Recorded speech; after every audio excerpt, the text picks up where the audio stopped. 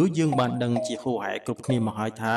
ពាក្យចេនឡាជាឈ្មោះចិនហៅកម្ពុជា បន្ទាប់ពីការធ្លាក់ចុះនៃនគរភ្នំ ដែលគេស្គាល់ថាចឹងឡាបជាភាសាយួនឈ្មោះនេះនៅតែឃើញប្រើនៅក្នុងសតវត្សទី13ដោយពេលសកជនជាតិចិនជីវតក្វាន់ពួកអ្នកប្រាជ្ញមួយចំនួន សម័យទំនើបបានប្រើឈ្មោះនេះសំដៅតែរដ្ឋខ្មែរនៅសម័យកាលចាប់ពីចុងសតវត្សទី6ដល់ដើមសតវត្សទី9តែប៉ុណ្ណោះចំពោះបញ្ហាឈ្មោះជិនឡានេះអ្នកសិក្សាជាច្រើន បានឲ្យយោបល់ផ្សេងផ្សេងពីគ្នាដូចខាងក្រោមនេះ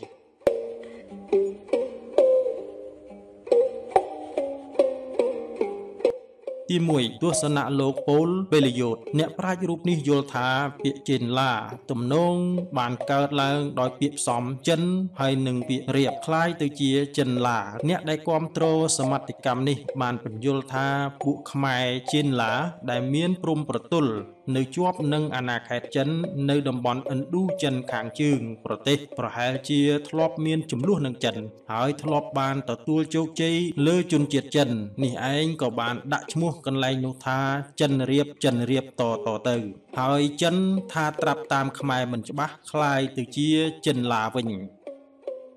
ទី2ទស្សនៈលោកកេងវណ្ណស័កលោកសាស្ត្រាចារ្យកេងវណ្ណស័ក មានគំនិតប្រហាក់ប្រហែលនិងគំនិតខាងលើដែរតែលោកយល់ថាពាក្យចេនឡាคล้ายមកពីពាក្យថាចិននិងលាទៅវិញ ក្នុងសម័យប្រជុំពេញអង្គ ក្រុមប្រឹក្សារាជាណាចក្រស្ដីអំពីការបង្កើតវិទ្យាស្ថានខ្មែរមនកាលពីថ្ងៃទី16ខែកុម្ភៈ1970លោកកេងវណ្ណស័កបានថ្លែងបំភ្លឺអង្គប្រជុំថា ដោយហេតុតែជនជាតិចិនមិនអាចទៅត្រួតត្រាកន្លែងនោះបានក៏ដកថយទៅវិញ ឬក៏លាទៅវិញទើបមានឈ្មោះថាចិនលាឬចិនឡាដូចនេះ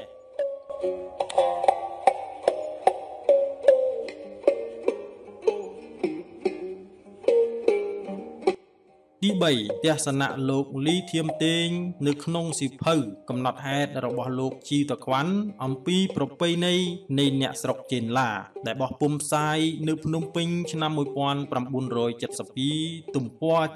74 75លោកលីធៀមតេង បានសរសេរថាកាលខ្ញុំទៅស្រុកចិនជួបនឹងអ្នកស្រាវជ្រាវចិនម្នាក់ឈ្មោះស៊ីវមេងគាត់បានប្រាប់ខ្ញុំថាគាត់ឃើញឯកសារមួយនិយាយអំពីឈ្មោះចេនឡានេះ ដែលពីដើមឡើយហៅប្រទេសមួយ ដែលស្ថិតនៅខាងលើប្រទេសហ្វូណនប្រទេសនេះមានព្រៃក្រាស់ណាស់ហើយសម្បូរឃ្មុំយកក្រមួនធ្វើទៀនពួកចិនតែងធ្វើដំណើរតាមសំពៅមកទិញដូរយកក្រមួនសុទ្ធគឺក្រមួនពីឃ្មុំ ដើម្បីយកទៅលក់ឯស្រុកគេ សម្រាប់ធ្វើទៀនហើយគេនាំគ្នាសន្មត់ហៅស្រុកនេះថាក្រមួនសុទ្ធក្រមួនសុទ្ធគឺថាជេនឬជេងប្រែថាសុទ្ធឯពាក្យឡាឬលាក់ប្រែថាក្រមួនឬឃ្មុំមុំឬក៏ទៀនភាសាចិន គេយកគុណនាមមុខនាមបូករួមមកបានន័យថាស្រុកក្រមួនសុទ្ធដែល ជាការឲ្យនិយមន័យរបស់ចិនទី4ទស្សនៈលោកពៅឈិនក្នុងសិភៅអរិយធម៌ខ្មែរមនទំព័រ32 33លោកបានសរសេរថា សម័យនោះពុំទាន់មានស្ដេចនៅឡើយទេ គឺមានតែជាកុលសម្ព័ន្ធធំធំ គឺមនមួយនិងខមមួយប៉ុណ្ណោះឯង កុលសម្ព័ន្ធមននៅមាត់ទន្លេមេណាម ក្នុងស្រុកសៀមរហូតទៅដល់ខាងត្បូងប្រទេសភូមាឯកុលសម្ព័ន្ធខមនៅចាប់តាំងពីស្រុកបាភ្នំលបបុរីស្រីអយុធ្យា និងនៅលើដីកោះគោកធ្លោកតាមជួរភ្នំដងរែករហូតដល់ប្រទេសចិនទើបមានឈ្មោះថាចិនឡា ពុកម៉ែបងប្អូនជាទីគោរពរាប់អាន ដោយឡែកអំពីការបកស្រាយខាងលើនេះ ចំពោះលោកឆត្រាព្រេមរនីមានការបកស្រាយយ៉ាងក្បោះក្បាយក្នុងសិភៅរបស់លោក ដែលមានចំណងជើងថានគរគុកធ្លោកត្រង់ទំព័រ138 142យ៉ាងដូចនេះថា ពាក្យចេនឡា ជាពាក្យដែលចិនចម្លងពីពាក្យខ្មែរថាជន់លើ សូមបញ្ជាក់ថាពាក្យជន់សំនៀងចិនទាជីវថាចាំងចិនកន្តាំងថាឆាំងឯចិនកណ្ដាលថាឆើងម្យ៉ាងវិញទៀតចំពោះពាក្យឆើងនេះជាពាក្យដែលមានសំលេងស្រដៀងនឹងពាក្យថាជន់ហើយអក្សរចឆជើជាអក្សរដែលនៅក្នុងវគ្គជាមួយគ្នា អាចផ្លាស់គ្នាបានដោយពាក្យថាឆេឬឆៃដែលប្រែថាស៊ីឬក៏បរិភោគឯស្រៈអឿឬស្រៈអើនេះសំលេងចិនភាគខ្លះទៅជាស្រៈអេឬស្រៈអាំងក៏មានដែរឧទាហរណ៍ពាក្យថាភឿនចិនខ្លះថាផើងខ្លះថាផាំងហើយនឹងខ្លះទៀតថាភេង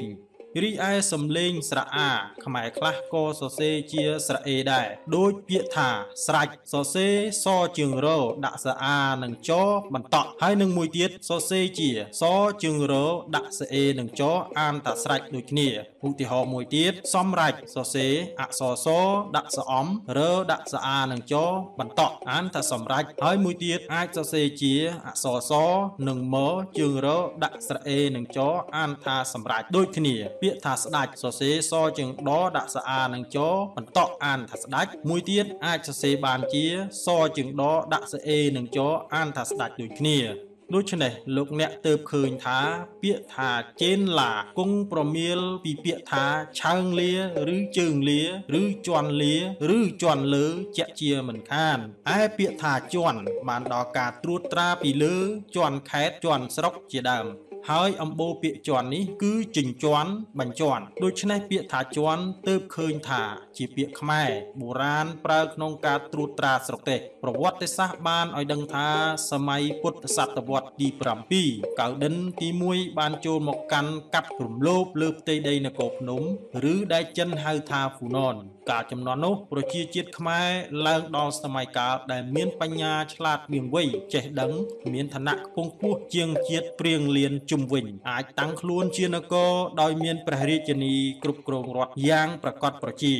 ឯកៅដិនមិនទុកចិត្តខ្លាចខ្មែរដែលនៅតាមរដ្ឋផ្សេងផ្សេងមានរដ្ឋនៅប៉ែកខាងជើងជាដើមកើតក្បត់ទើបបែងភាគនគរហ្វូណនជា7ភាគហើយបានបញ្ជូនខ្សែស្រឡាយរបស់ខ្លួនទៅចាំត្រួតត្រាជាន់រដ្ឋនោះឯរដ្ឋដែលនៅភាគខាងជើងរាជធានីថ្មីនៃប្រទេសហ្វូណននោះជាភូមិភាគមានដីខ្ពស់ជាងរាជធានីថ្មីនៃក្រុងហ្វូណនឯភាគដែលមានដីខ្ពស់ហៅថាភាគលើឬក៏ស្រុកលើការដែលត្រួតត្រាភាគខាងលើនោះគេហៅថាជន់លើសរុបសេចក្តីមកពាក្យជេនឡាមុខតែបានคล้ายមកពីពាក្យថាជន់លើជាមិនខាន